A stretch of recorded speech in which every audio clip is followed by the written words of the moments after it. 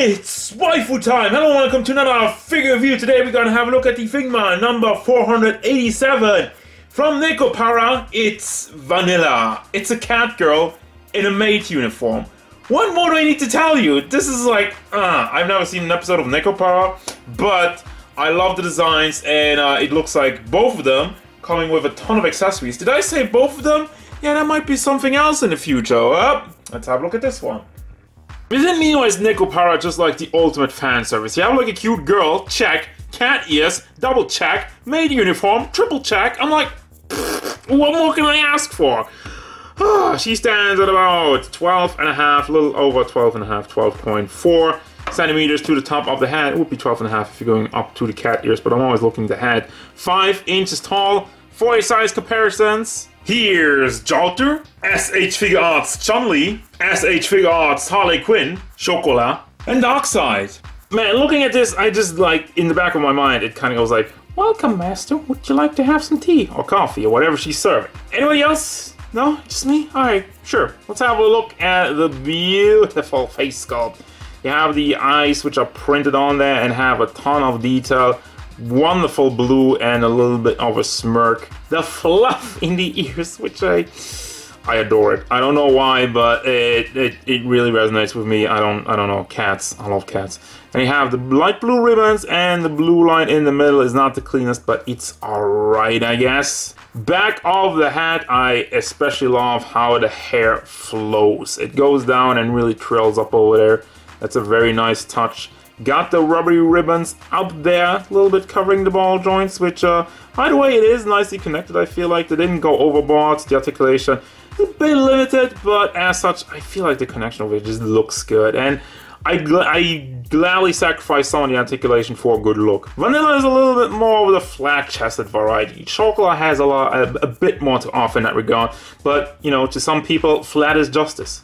I'm not one of those people, but, you know, I don't want to start a debate I'm just stating my preferences. You got another light blue ribbon and the line that goes around the neck and his little bell has a nice gold metallic.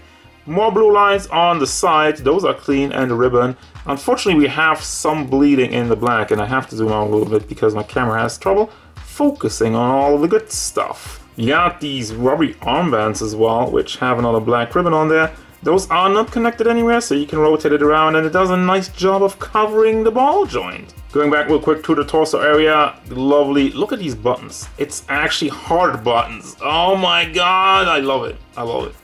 And also a little bit shiny, stands out from the rest of it. It's a button, so it should be shiny. Got more light blue ribbons and another blue line on her apron, which is not connected to the dress, so you can lift it up and... Why is there a hole? Why is there a hole in here? I didn't even notice that before. Why is there a hole in here? What?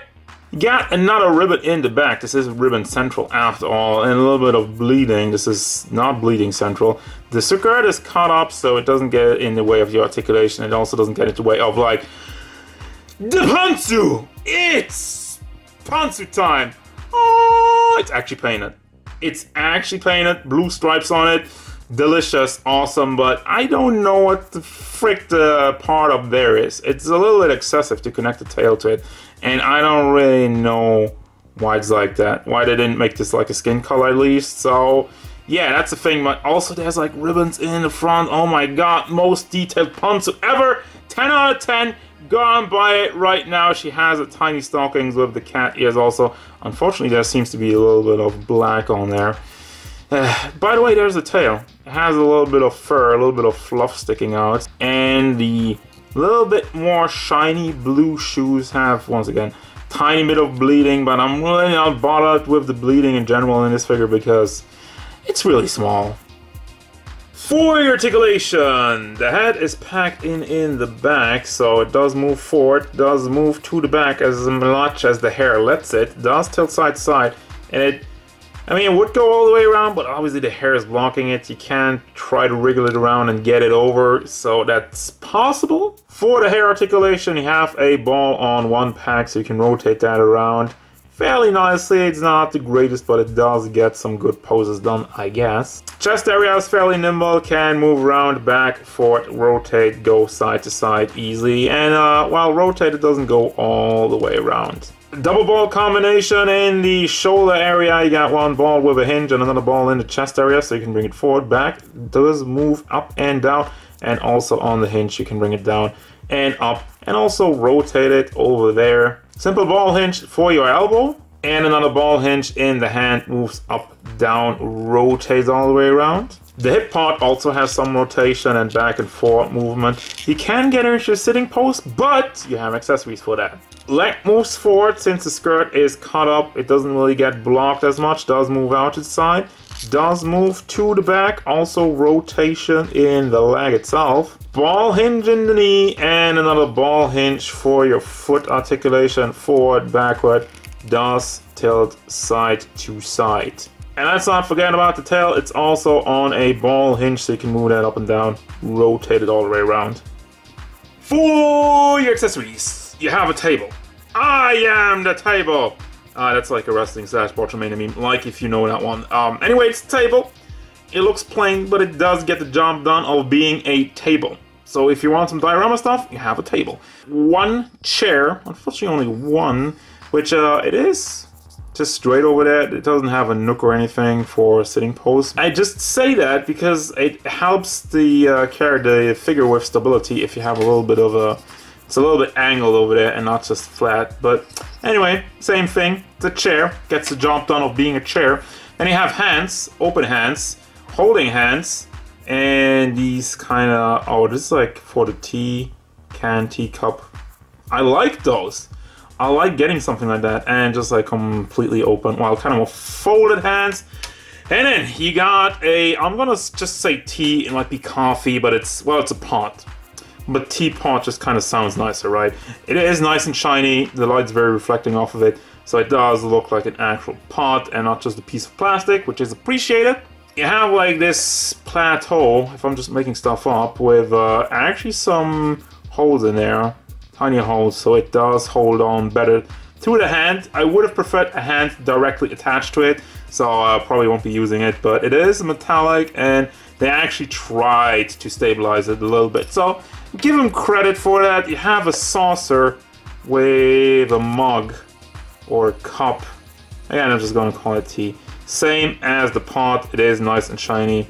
Is it just me or does it have a little bit of magnetic pro prop properties? I don't know, probably not. Just probably me being loaded with electricity. I'm the guy from Infamous. And I almost forgot because I couldn't see it because it's tiny. Have this see-through piece which also almost rolled off my hand. Let's have this again without stuff going off the table. You can put this into the mug. And then you have this. So it was tea all along. I was right because this is not coffee. This is way too bright for that. Then you have faces. You have one kind of like dreamy face and a smiley closed eyes face. And you have this entire piece, which you can take apart and then just replace it with the regular skirt. It has ugly, ugly bleeding. It doesn't look as nice, so that's immediately a big no-no for me. It is flat in the back, so as I was saying, so the sitting pose should work. The apron also. Can take this off if you don't want the apron, actually. You have holes on the side over there, which, what is that for? for the tail. You have another tail which you just connect to the hole so if she's sitting it just kind of peeks out over there which isn't that lovely. Also as with every Figma you get a base and you get a back and there you go. Final thoughts for Vanilla. I love, love, love this figure. I love the design. The accessories are pretty darn good. Just one thing I'll get to in a second. Paint job is also clean for the most part. There is some tiny, tiny bit of bleeding. And the articulation was mostly standard. It is, she's nimble. She can get some good poses. So it's, uh, I guess it's like upper tier still articulation for Figmas. Nothing too fancy though, nothing special about it. As far as complaints go, the hands. I have just one weird thing about it. You only have holding hands for the cup or the pot for her right hand, you have this one, which is nicely connected, and I have the other one on the figure right now, which does hold the pod very nicely, but you don't have that for the other side. So I guess she's right-handed and she only holds it in the right hand. Maybe that's a thing where they just really um, true to the character. But as far as poses goes, I would really prefer the option to have both hands on both sides. That's really it. That's all I can come up with as far as complaints. Yes, I do recommend this one. I mean, it's a cat girl in a maid uniform. What more do you want? Seriously. So if you like that, definitely go and get it. If you don't like it, then don't. Also get off my channel. Just kidding. But yeah, it's a good one. I think it's a good one. That's gonna do it, guys. As usual, thank you very much for watching. Don't forget, if you enjoyed this review, hit it up, leave a like, and subscribe to the channel so you can stay tuned for more figure reviews, card game stuff, and whatever vanilla wants. A couple more hands would be nice.